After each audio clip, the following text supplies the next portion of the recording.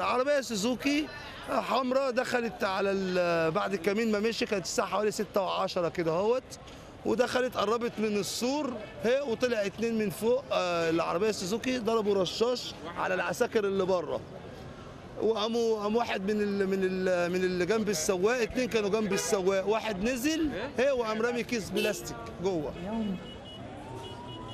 انفجار أودى بحياة أربعة أشخاص وإصابة آه، ثلاثة.